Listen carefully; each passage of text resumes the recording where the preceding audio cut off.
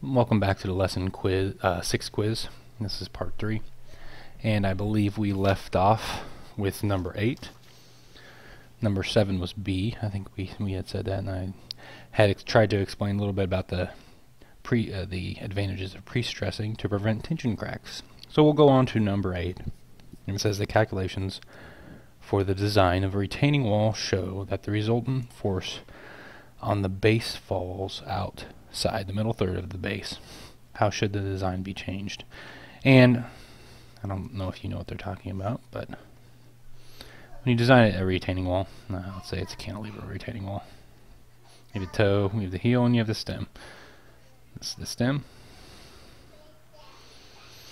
This is the toe. And this is the heel. Hope that makes sense. Alright. And here's your, let's actually change colors here. Goes green.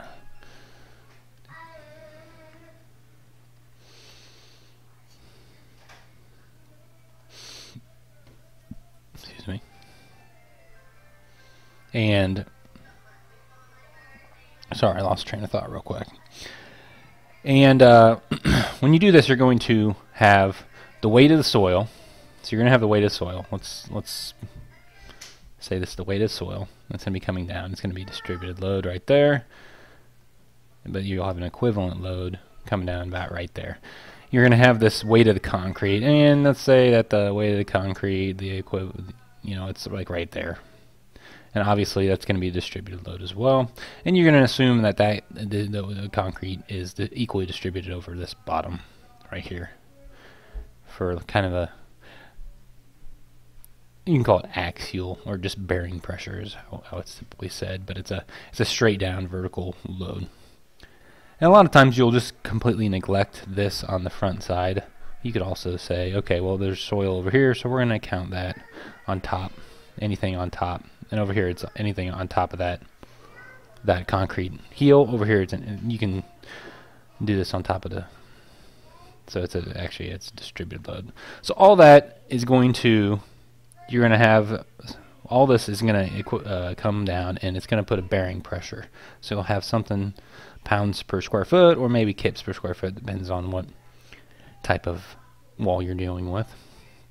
So you're going to have you know, an equivalent or equally distributed load.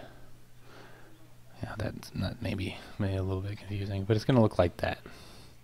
And it's going to and then uh, it's to come straight down. It's going to be pretty much you don't have to say it has to be equally distributed, but let's say in this case it is.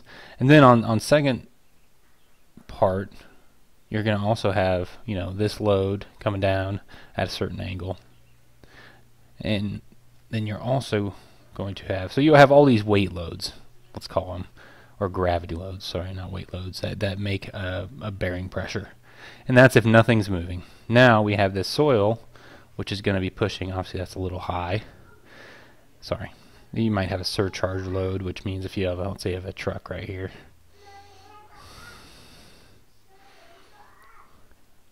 a bad drawing of a truck, but that's alright. There's a little guy inside. All right, so there's a truck, and let's say that makes a, a surcharge load, which means it's, it's, it's just an extra load coming over here. And let's say it's, uh, it's P, and that's going to induce a moment, right? It's going to make it go like this. So you're going to take this moment that it's going to make, and you're going to distribute it like that. In any ways, what I'm trying to say is it's going to create this type of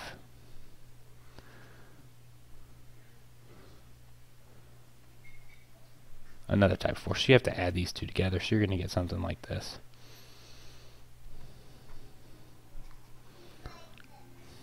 And so your max bearing pressure is uh, so this this is going up. I don't know if I drew it obvious enough. So it's you're adding this right here and that right there, and it gets this, and here is your max bearing pressure. All right, so hopefully that kind of explains a little bit more of what we're going. It says, okay, and this, this when you look at this, I'm sorry, I, I, I need to go a little bit step further. There's a, you, you make this in, into an equivalent row, right? You, you could cut it right here, and you make one right here, and then you you make one right here. For it's at the third point. This is at the half point. You add those together, you're going to get one equivalent load. And if that's out, you you can. And if that is outside, that you you break this up into third points. So and you want to have it within this this middle third point. You want to have that equivalent. And if, this might be a little bit confusing, and they explain it a little bit more in depth in the study guide. That's what they want. They want it in this uh, middle. So they're asking in this uh, question, they said, how should design be changed to make sure it can get into the middle? Somewhere in the middle here. And you, uh, the footing should be made wider. D is your correct answer. Let's go ahead and take a look at the other ones. A, not at all. Design is inadequate. That's just untrue. The footing should be deepened. Deepening the footing is shouldn't. I guess it could. I mean, it's going to be negligible, but it's going to bring this. It's going to make this a larger load because you're going to have more concrete. So if you have more concrete, it could bring this in ever so slightly. So that's not really incorrect. Incorrect. It's just not the most efficient way to do it. You're going to be, you know, but you could deepen it to 50 foot. So you could end up making a huge, you know, thing of concrete before you get to a point where this overcomes that offset enough to get it within the, the middle third. And I hope that makes sense. I know it's a little bit confusing. So it's not really incorrect, it's just an inefficient way to do it. Um, C, the amount of reinforcing steel should be increased. That is not going to help you at all. Uh, it's going to make you it stronger, but then again, it's not going to change any of the loading. So that is also incorrect. So it's pretty clear cut. Clear cut. It, answer to, oops, sorry about that. Let's get rid of this. The clear cut answer is D. All right, moving on to number nine. Sorry, my phone's ringing. Number nine says that the stem of a cantilever retaining wall, so we got the cantilever retaining wall, something like this. And it says the stem, which is, once again is this part up here. It's this part. It's 10 foot high. And says, assuming a 30 pound equivalent fluid pressure, what is the bending moment at the base caused by the Earth's pressure? And a, a kind of a quicker way to go about this is to say, all right, we know that P, and when I P is at a, the, the, because we know it's going to be a, a, a wedge, and then it's going to be, this is P, it's going to be a third, so H over 3 up, so it's going to be, what, this is going to be 3.33 foot. So we know, and you, you can actually go back and see I think one of our questions was h is going to be, we just use that equation, 30 h squared over 2, I believe is what it was. Let me take a quick look and, and justify this. I don't want to be telling you something that's incorrect. Yes, 30h squared over 2. And you can get that by just thinking about it. Thinking that, okay, well, we, we know we have 30 30 PCF. And you're going to take that to get your wedge, it, you're going to multiply that by how deep it is. And well, I'm actually going to call it H. And then to, once you have the wedge, you need to get the area of the wedge with a triangle. An area of a triangle is 1 half base times height, and base is going to be this, what we just got, times height, which is h, 1 half base times height. Yeah, this is a, this is this is b. Because remember, this is this dimension right here. This is going to be 30h. This is going to be h, and to get the area, you get 1 half 38, and you know that it is at one third up is where the centroid of that load is. So the answer, if you plug in H, is going to be 30, 10. Sorry, I'm not putting, I'm, I'm just going to skip over the, uh, the units here. 30 times 10 squared is going to be 100. That's 3,000 divided by 2 is 1,500. I hope that makes sense. Oh, well, let's just multiply it out. Maybe my math is incorrect.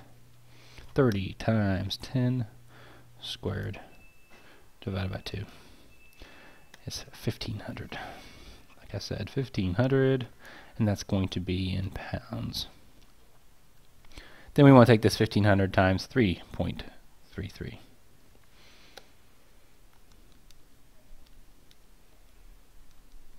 You need to say 10 divided by 3.